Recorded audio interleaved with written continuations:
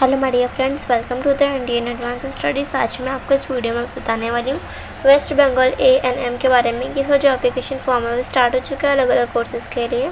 तो आपको किस तरह से अपना एप्लीकेशन फॉर्म फिल करना है उसके बारे में स्टेप बाय स्टेप बताऊँगी। तो आप इस वीडियो को ध्यान से देखिए एंड चैनल को सब्सक्राइब कर लीजिए ताकि कोई भी नोटिफिकेशन या अपडेट आए। तो आपको इस वेबसाइट के थ्रू सबसे पहले पता चल जाए। तो सबसे पहले आपको कोई भी ब्राउज़र ओपन कर लेना जैसे कि फायरफॉक्स मोजरा या फिर एज देन आपको उसमें टाइप करना है West Bengal A N M two thousand twenty three hours paper I E S paper एक एक्सक्लूसिव वेबसाइट है, यहाँ से आपको West Bengal A N M से रिलेटेड आपको सभी इन्फॉर्मेशन सबसे पहले मिल जाएँगी। देन यहाँ पे दिया गया West Bengal A N M two thousand twenty three application started dates eligibility pattern and syllabus then यहाँ पे दिया गया सो नोटिफिकेशन ऐसे जो एप्लीकेशन फॉर्म है सेवनटीन जैन को स्टार्ट हो चुका था। देन आपके सामने एक फॉर्म आएगा, जिसमें आपको अपना full name email ID contact number current state current city interested course suggest qualification then आपको गेट फ़ी काउंसलिंग में क्लिक करना होगा। इससे क्या होगा, आपके ईमेल आईडी एंड आपके कॉन्टैक्ट नंबर के थ्रू आपको इस यूनिवर्सिटी से सभी इन्फॉर्मेशन सबसे पहले मिल जाएँगी।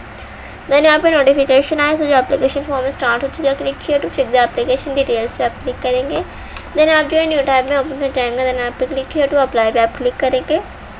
देन आप जो है इसके ऑफिशियल वेबसाइट पे ओपन हो जाएँगे, जहाँ से आपको अपना एप्लीकेशन फॉर्म फिल करना होता है। दैन सबसे पहले जो है आपको रजिस्ट्रेशन करना होता है। सबसे पहले यहाँ पे आपको अपना application number password security pin and then यहाँ पर सिक्योरिटी पिन के बाद यहाँ पर आपको न्यू का अगर हम न्यू कैंडिडेट्स हैं तो सबसे पहले यहाँ पे आपको अपना सारा इन्फॉर्मेशन फिल करना होगा। यहाँ पे सबसे पहले इंस्ट्रक्शन सॉरी इंस्ट्रक्शन दी गई आपको यहाँ पे आई एग्री पे क्लिक करना है रीड करके।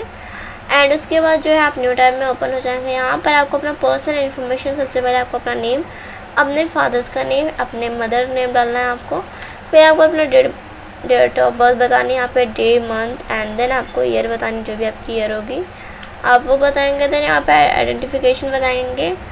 एंड uh, उसके बाद आपको जो है आपको यहाँ पे अपना क्लास टेंथ का बताना है। स्कूल आईडी कार्ड यहाँ पे any other valid government identification photo यहाँ पे वोटर आई डी पासवर्ड जो भी है आपको पास देन यहाँ पे पासपोर्ट नंबर डाल देंगे जो भी आपको पासपोर्ट का नंबर होगा। देन यहाँ पे आपको अपना मोबाइल नंबर डालना है देन यहाँ पे ईमेल आईडी डालना है। फिर आप अपने मर्ज़ी से आपको पासवर्ड चूज़ करना है देन यहाँ पे confirm password security pin and then यहाँ पे आपको सबमिट पे क्लिक करना रहता है। उसके बाद आप जो है न्यू टाइम में ओपन हो जाएँगे, वहाँ पर आपको जो है अपना एजुकेशनल इन्फॉर्मेशन पेरेंट्स डिटेल्स ये सारी आपको इन्फॉर्मेशन सेनी होती है। पेरेंट्स डिटेल्स में से कि आपको अपने फादर का नेम मदर नेम उनका ऑक्यूपेशन उनका डेट ऑफ़ बर्थ और uh, उनका ईमेल आईडी सब आपको बताना होता है। एंड उसके बाद जो है आपको जो अपना कुछ डॉक्यूमेंट्स देना होता है जैसे कि अपना टेंथ एंड ट्वेल्थ का मार्कशीट देना होगा और कितने परसेंटेज आए थे ये बताना होगा आपको। कौन से स्टेट से आपने स्टडी किया था कौन सी यूनिवर्सिटी से स्टडी किया था। आपको अपनी फ़ोटो देनी होती है जी पी जी या पी एन जी फॉर्म में। तो इस तरह से आपको अपना सारा प्रोसेस कंप्लीट करना होता है। अगर आपको कोई भी डाउट हो तो आप डेफिनेटली कमेंट कर सकते हैं। इसकी लिंक डिस्क्रिप्शन बॉक्स में दी गई है। आप वहाँ पर जाकर चेक कर सकते हैं। So thank you so much for watching my video thank you